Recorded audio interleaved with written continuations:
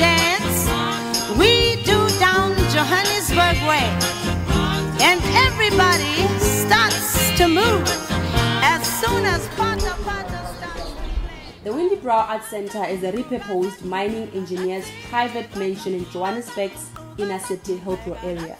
Originally built in 1896, the house has been through many iterations.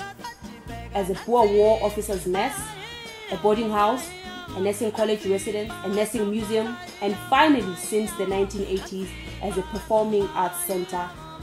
And in 2017, after yet another failure of management, it was placed under the stewardship of the Market Theatre Foundation.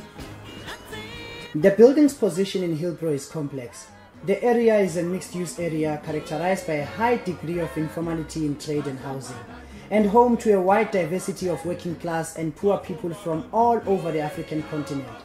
And here stands this architectural symbol of white mining capital and all the racist colonial practices that enabled its building and the racist apartheid practices that would have served its preservation.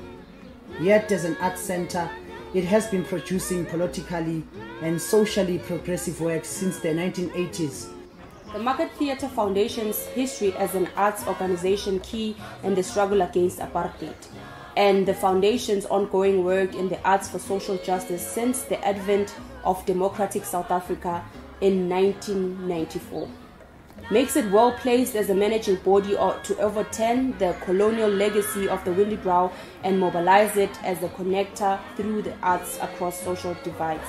In 2022, Gerard Bester, formerly project coordinator of the Hillbrow Theatre Project at the Lutheran Community Outreach Foundation in Hillbrow, took up the role of the head of the Windybrow Arts Centre. The notion of the active assembly is, is our core purpose.